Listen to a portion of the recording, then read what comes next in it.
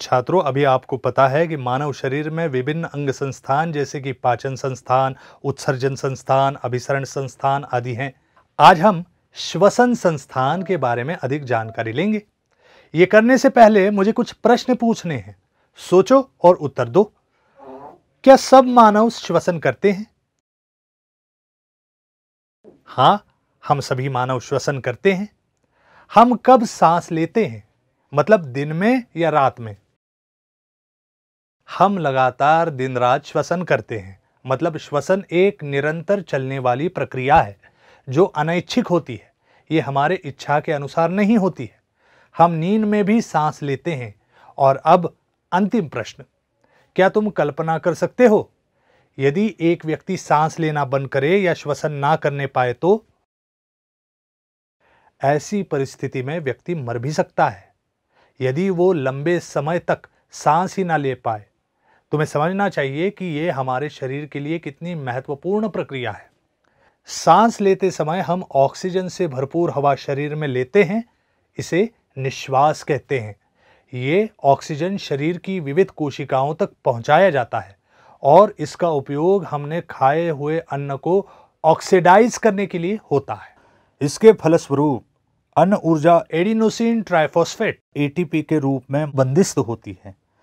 हमारा शरीर in ATP अणुओं का उपयोग विविध कार्य और गतिविधियों के लिए करता है। अब हम मानव के श्वसन संस्था के बारे में जानेंगे। श्वसन संस्था में विविध अंगों जैसे कि नाक, ग्रसनी, श्वसन नलिका, फेफड़े श्वास पटल होते एक, नाक। नोज़। श्वसन प्रक्रिया की और श्वसन संस्थान की शुरुआत नाक से होती है।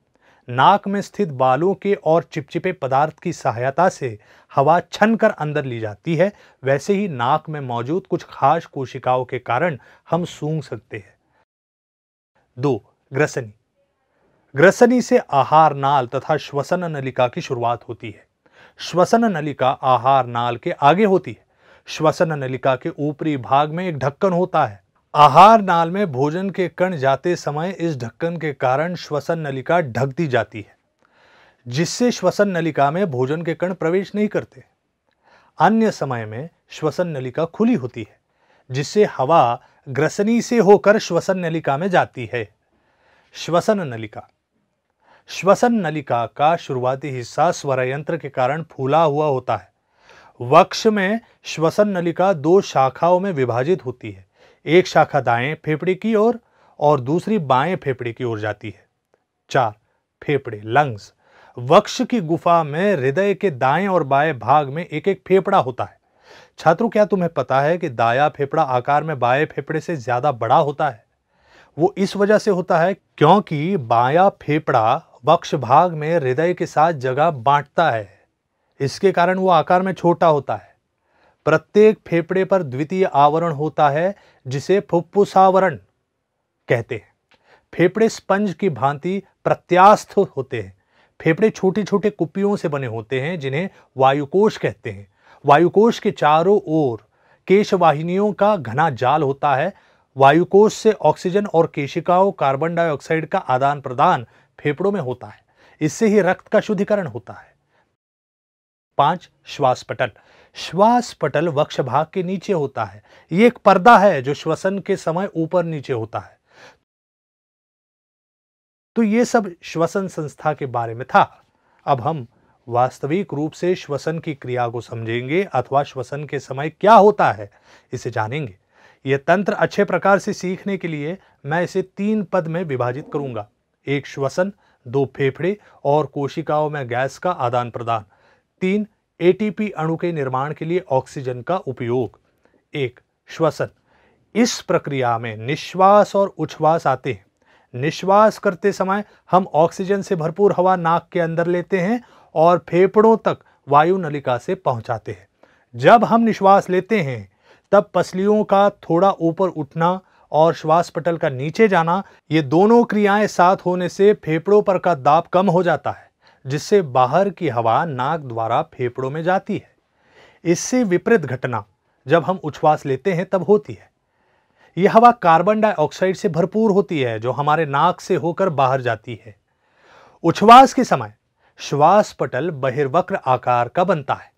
पसलियाँ अपने स्थान पर आती है। इससे वक्ष भाग की घनता कम हो जाती है और अंदर हवा का दाब बढ़ता है। इसके कारण हवा शरीर के बाहर जाती है। गैसेस के आदान प्रदान का दूसरा पद दो भागों में विभाजित किया जा सकता है।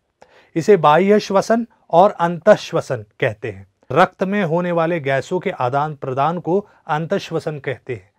रक्त से ऑक्सीजन कोशिकाओं में जाती है तथा कोशिकाओं से कार्बन डाइऑक्साइड रक्त में आता है।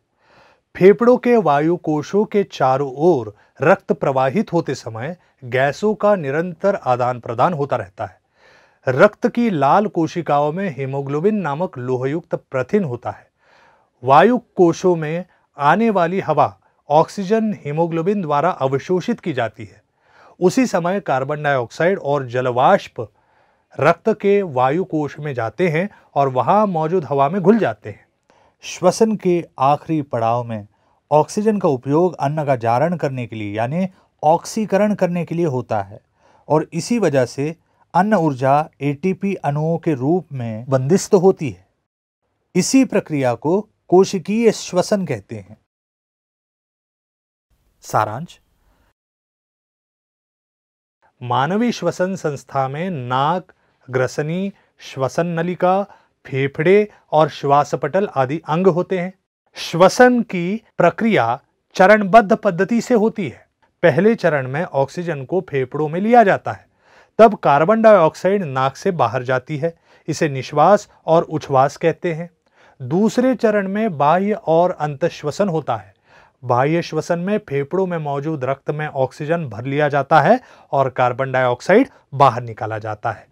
और अंतश्वसन के समय कोशिकाओं को रक्त से ऑक्सीजन मिलती है। अंत में कोशिकीय श्वसन में एटीपी अणु निर्माण होते हैं। चुनौती तिलचट्टा मछली सांप और मेंढक के श्वसन अंग क्या है?